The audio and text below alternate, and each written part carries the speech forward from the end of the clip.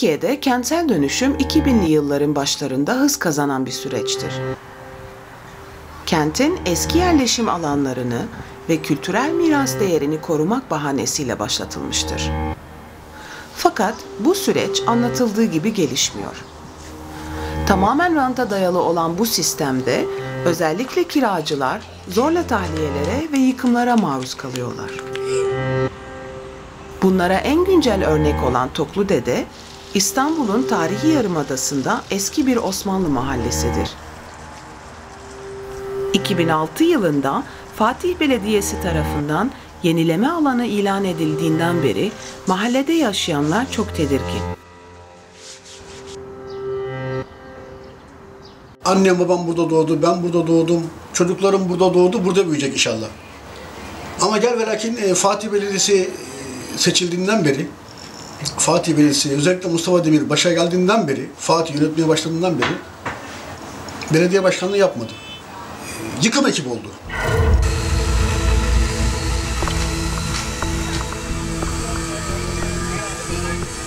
Çağır polisi gelsin bana. Arkadaşım. Hala parkı yıkıyorsun Görevli, görevli. Tamam ben de biliyorum görevli olduğunu. Üstlerle görüş arkadaş. Üstü üstlerine görüşüm o da üst ben Tamam, biliyorum. Oradan bak.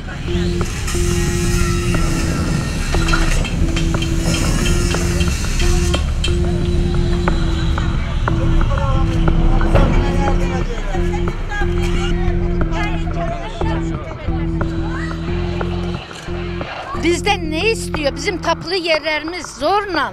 Zorla para verme, pul verme, bir şey verme, zorla bırak git.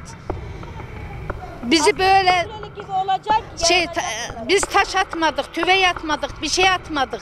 Bizi hep bastırmaya çalıştı. Çok insanlar mağdur oldu. Şimdi de evimi vermiyorum, ben de direniyorum. Şu anda İstanbul'da 50 tane mahallede kentsel dönüşüm var ve 50 tane mahalle boşaltılıyor. Sırf birkaç tane firma zengin olacak şu Türkiye'de diye. O kadar büyük bir taciz altındalar ki yazık değil mi bu insanlara? Her dakika işte elektriğinizi keseceğiz, suyunuzu keseceğiz. Dolanayım dolanayım bulamayayım ayıp değil mi? Doğru yengenim de. Biz de aslında Allah. Siz de suyunu kesmeyin, yazık günah. yani mutlaka mutlaka. Ya benim kızım da gözünde kesmiş ya vardım kesmiş ne yapacağım anne? Kesti mi seni? He he, Şekilde suyunu kesmişti. Gittim ya vardım. Senin Benim suyumu muyumu da kesemezler, vallahi geleni öldürürüm. Ben bu yaşta gider hapiste yatarım. Senelerdir kiracı olarak oturdukları evlerden çıkarılma tehdidi altında olan ve baskılara direnen mahalle halkı Fatih Belediyesi'ne giderek toplu dilekçe verdi. İstedikleri sadece barınma haklarının gözetilmesi. Bize direktmen yani çıkın değiller. Ama bu böyle bir şey var mı? Biz ayak altındayız yani. Ben bu yaşta nereye gidebilirim? Şeker hastasıyım. Bu anda geldim bu, bu şehirde.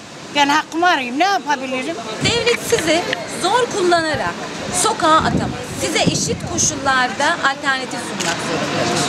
Ve ulusüstü hukukta zorla tahliyeler ilk görüşte insan hakkı ihlalidir. Bir insanı bir yerden ediyorsanız bu kamusal bir amaçla bir proje olabilir. O insanlara yer göstermek zorundasınız. O insanların daha sonraki yaşantısını güvence altına almak zorundasınız. Onları sokağa atamazsınız. Sokakta bırakamazsınız.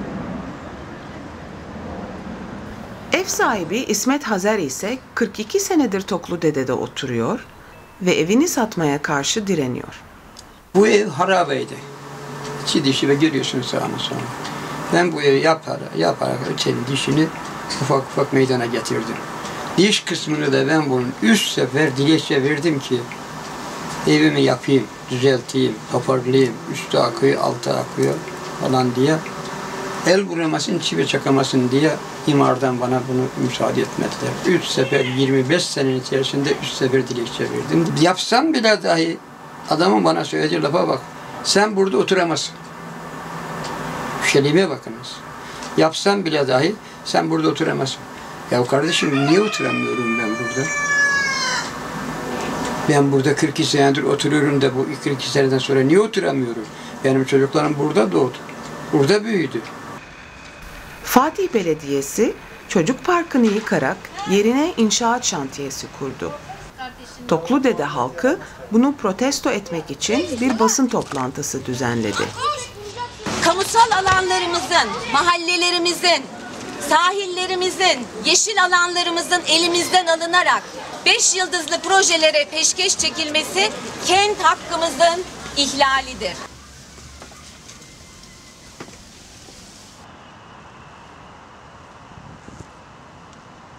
Öncelikle şu yukarısı otopark olacak.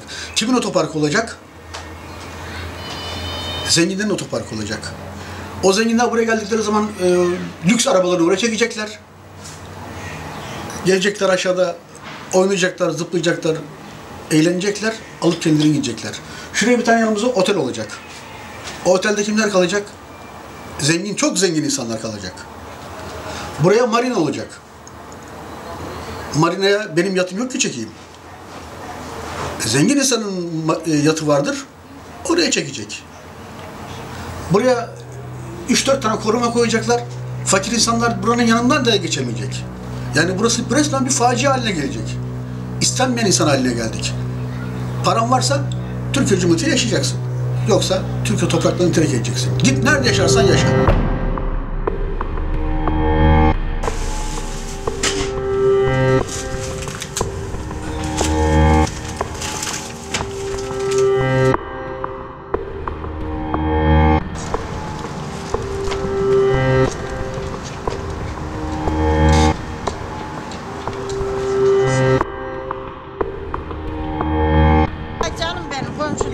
güle gelin. Kurbanım sağ ol. Güle güle oturun. Çok sağ olun. Sağ olun.